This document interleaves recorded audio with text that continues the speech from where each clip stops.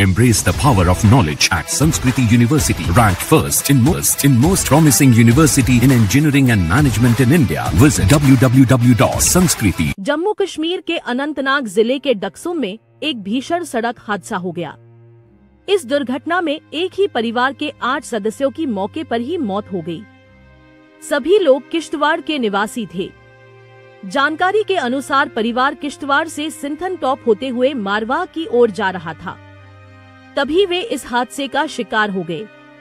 हादसे में शामिल इम्तियाज़। पेशे से पुलिसकर्मी थे। इसके साथ ही कार में पाँच बच्चे और दो महिलाएँ शामिल थी।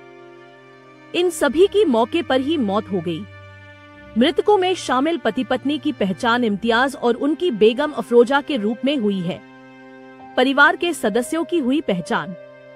इम्तियाज़ राथर पुत्र गुलाम रसूल राथर निवासी किश्तावर। उम्र 45 वर्ष। अफरोजा बेगम पत्नी इम्तियाज़ अहमद राथर निवासी किश्तावर। उम्र 40 रेशमा पत्नी माजिद अहमद। उम्र 40 वर्ष। अरीबा इम्तियाज़ पुत्री इम्तियाज़ अहमद। उम्र 12 वर्ष। अनिया जान पुत्री इम्तियाज़ अहमद। उम्र 10 वर्ष। अबान इम्तियाज़ पुत्री इम्तियाज़। उम्र 6 मुसैब माजिद पुत्र माजिद अहमद। उम्र 16 वर्ष। मुशैल माजिद पुत्र माजिद अहमद। उम्र 8 साल।